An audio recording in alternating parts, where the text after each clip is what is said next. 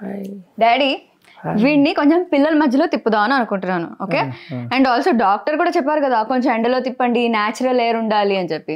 So ఈ చుట్టుపక్కల ఎక్కడ తిప్పచ్చండి ఓ ఈ కాలనీలో చాలా పార్కులు ఉన్నాయి. దాంట్లో ఉమెన్ అండ్ చిల్డ్రన్స్ కోసం ఒక కొత్త పార్క్ కట్టారు.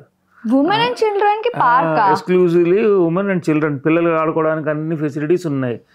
వెళ్ళి చూడొచ్చు హ్యాపీగా తీసుకెళ్ళి వాళ్ళు పొద్దున్నే తీసుకెళ్ళి హాయిగా ఎండలో కొంచెం కూర్చి తీసుకొస్తే బాగుంటుంది. ఫ్రెష్ గాలి ఎండ ఎండ ఉంటుంది. ఓ సూపర్ రా. అయితే నీకు ఇక్కడ పక్కనే పార్క్ కూడా ఉంది. నీకు కావాల్సినంత సేపు అక్కడ ఉన్న పిల్లలందరినీ చూసుకోవచ్చు. ఫ్రెష్ ఎయిర్ కూడా ఎంజాయ్ చేయొచ్చు అంటారు అయితే. యా. అవును. ఓకే మనం ఇప్పుడే వెళ్దాం. వీడైతే ఏడుస్తున్నాడు కదా. మమ్మీ వీడిని తీసుకుని రెడీ చేయవా?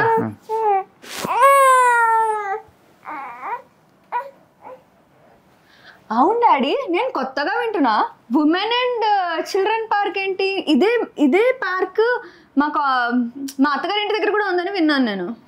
అవును సిటీలో చాలా చోట్ల ఇలా పార్క్స్ అన్ని కట్టి డెవలప్ చేస్తున్నారు. గ్రీన్ సిటీ చేద్దామని చెప్పేసి అన్ని చోట్ల టూరిస్ట్ అట్రాక్షన్ కూడా ఉంటుంది.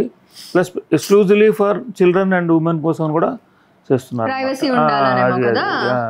చాలా డెవలప్ చేశారు డాడీ. అవునవును. అవును.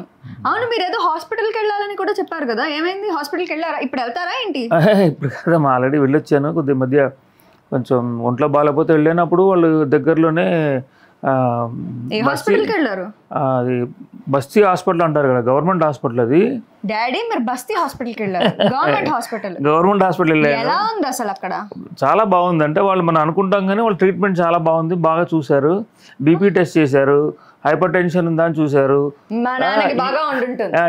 ఈసీజీ కూడా చేశారు. ఈసీజీ కూడా పది నిమిషాల్లో అయిపోయింది. అంత ఈజీగా అయిపోయింది. రెస్ట్ లేరు.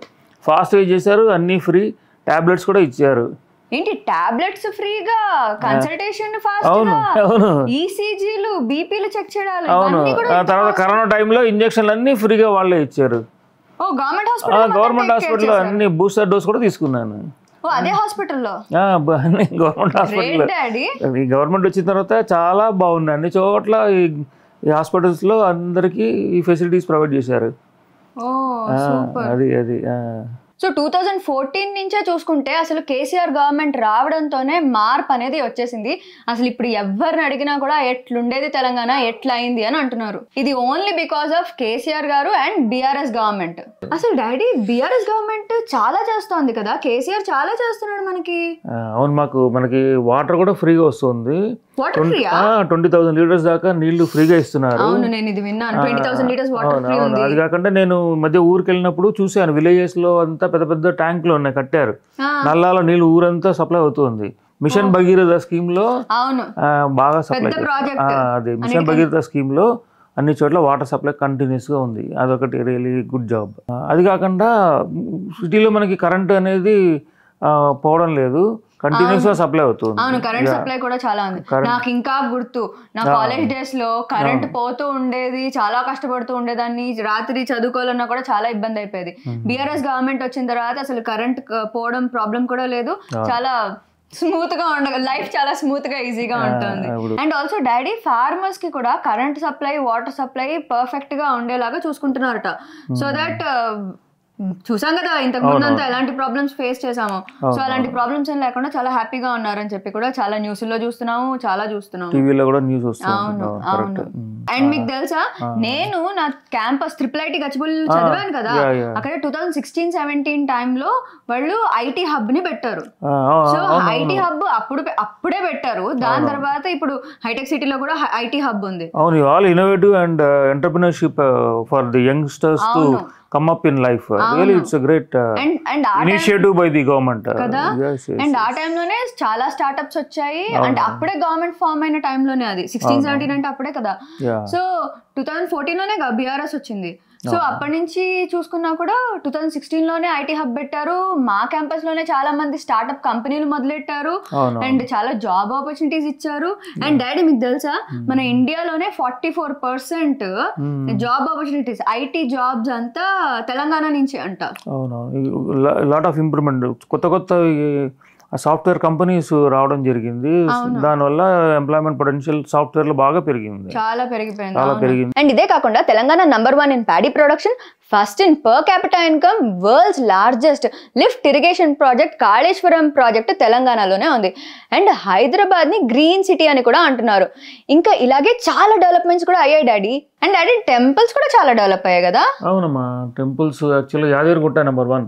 చాలా బాగా డెవలప్ చేశారు. అవును అసలు అది చూస్తేనే కళ్ళు చెదిరిపోతుంది కదా. ఎంత బాగుందో Yadagiri Gutta attracts lot of people foreigners కానీ లోకల్ వాళ్ళు కానీ అందరు తెలంగాణ వాళ్ళందరూ వచ్చేసి స్పెండ్ చేయడానికి బాగుంది ఆ place it's real good religious place దాని తర్వాత Warangal thousand pillars temple pillars అంటారు. వెయ్యి స్తంభాల గుడి. అంటారు. అది కూడా బాగా రెనోవేట్ చేసి చేశారు.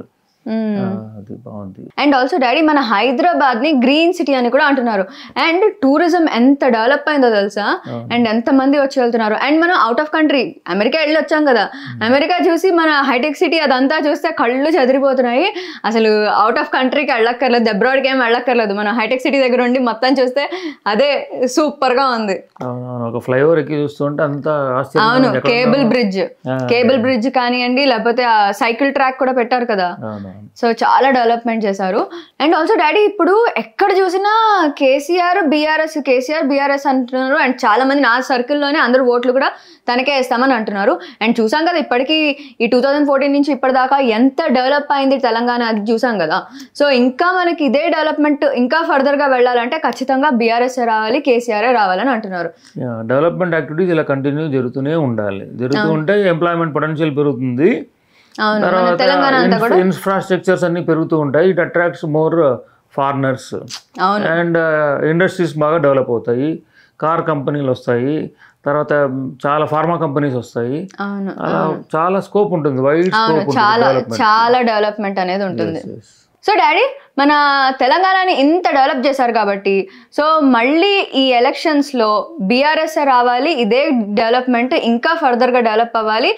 అండ్ మన తెలంగాణ నెక్స్ట్ లెవెల్కి అలా అలా వెళ్ళిపోవాలి మనం కూడా చాలా డెవలప్ అవ్వాలి. సో ఇదంతా అవ్వాలంటే మళ్ళీ బీఆర్ఎస్ గవర్నమెంటే రావాలి మళ్ళీ కేసీఆరే రావాలి. ఏమంటారు? సూపర్. సో మా ఓట్ అయితే మేము కేసీఆర్కే అని అనుకుంటున్నాము. డాడీ మమ్మీ అయితే వాడిని రెడీ చేసేసింది. ఆ, కలిసి అందరం కలిసి బయటికి వెళ్ళిపోదాం పార్క్ తీసుకెళ్తాను. Okay super. వెళ్దాం. ఉమెన్ అండ్ చైల్డ్ పార్క్ వెళ్దాం.